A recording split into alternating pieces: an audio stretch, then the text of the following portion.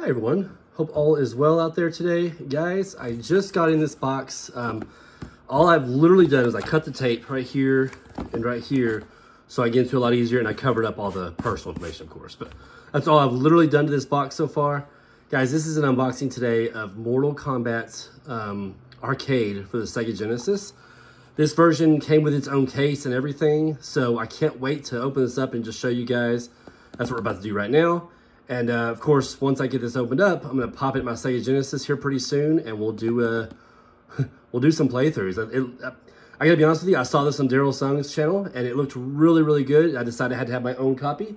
So uh, yeah, I went out there and found one that was had its own case, and I thought that'd be cool to own. I'm, I'm all about keeping or getting actual cases if possible. So anyways, guys, like I said, let's get started. So we're just gonna open it up right here. All right, comes in a bag. Oh, what's all this? Get some baggies in there. Okay, whatever. Don't know what those are for. we'll move the box out the way. all right, here we go. So, nice. Okay, so this is looking really cool, guys. Um, if you'll notice on the front here, we have uh, the man of the hour. well, just the man, Johnny Cage. Looks really cool in the cover. Um, really nice case. Just slide this out of here. Really cool. I started calling him the man of the hour because he's, you know, not too terribly long ago, there was a big controversy about him not being on the side of the arcade one-up machines. So, uh, no big deal. No big deal. It's whatever. I understand. I understand all that, all that went down with that. But anyways, really cool looking case, guys. There is the spine of it. If I can get you in the camera there. Looking awesome. Mortal Kombat Arcade. And there's the back. Now, this is the version I feel like I, I watched Gerald play it and I've watched some other videos and whatnot. And this is the version I feel like, man, we 100% should have got this one back in the day. Um, it's really cool. They've uh, definitely inc increased a lot of things. They fixed some of the sounds. Um, but they still also have the main, you know, like the same Sega Genesis music. They have Ermac in here as a playable or as a as a secret character.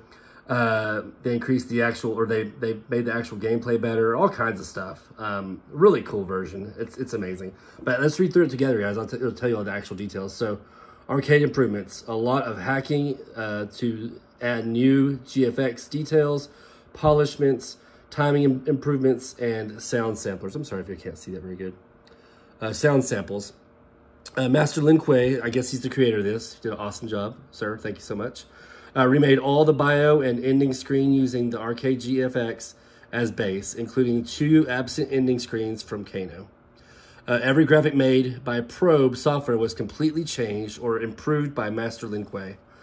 Uh, Chev Chelios and Danielo Diaz, I apologize if I'm saying those wrong, uh, to look more accurate. So basically, yeah, that whole team uh, made it made it better. um, new animations for the courtyard, monks and sung, uh, Palace Gates, Flame, Warriors Shrine, Flame during Ermac fight, and Throne Room, Shang Tsung Head plus Shang Tsung Clap. Added uh, 80 plus sound samples from the arcade, improved gameplay and removing delays and improving the whole timing and much more. So, yeah, there you go, guys. I'll just try to zoom in a little bit without it, you know, get too blurry. There's some screenshots. Looks still like the Sega Genesis version, but they did they tweaked it a lot, and it looks amazing. It plays great. Um, I can't say enough about that. So there's the case itself. There's the actual cartridge.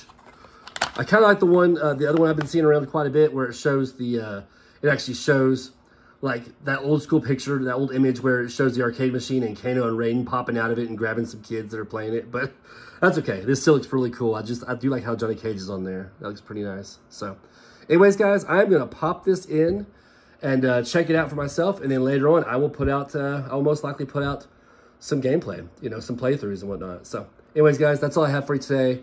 Just thought it'd be fun to show you guys what I just got in the mail. I'm super excited, as you probably can tell. have a great day out there, guys, and we'll catch you the next one. Take care.